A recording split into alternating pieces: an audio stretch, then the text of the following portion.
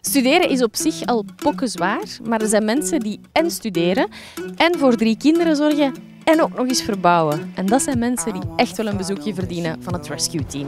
Hallo, Celine? Ja. Ah, verrassing!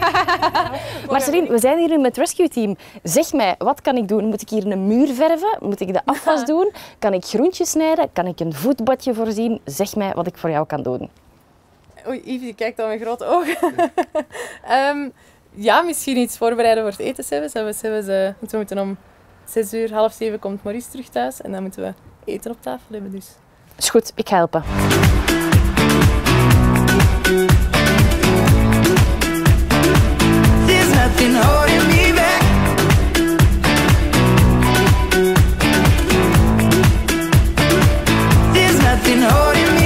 De ovenschotel staat klaar om in de oven te zetten. Ik heb opgeschreven wat dat je moet doen en uh, komt allemaal goed. Celine, dikke merci. Yves, salut. Smakelijk.